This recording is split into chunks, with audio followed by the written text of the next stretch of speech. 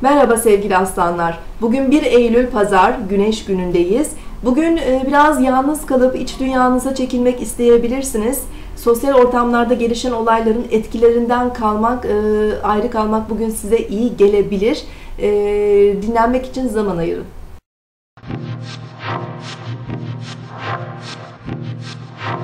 Burcunuzu dinlediniz. Bugün 1 Eylül Pazar, Güneş günündeyiz.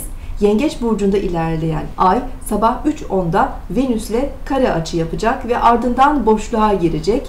Bugün ay gün boyu boşlukta olacak. Son açısını Venüs'le kare olarak yaptığı için e, duygusal olarak kendimizi birazcık e, kararsız hissedebiliriz. İlişkilerimizde gerginlikler oluşabilir. Özellikle bayanlarla olan ilişkilere e, dikkat etmek gerekiyor gün boyu.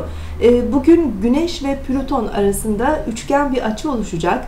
Güneş Plüton üçgen açıları kendimize olan güvenimizi arttırabilir, güç verebilir.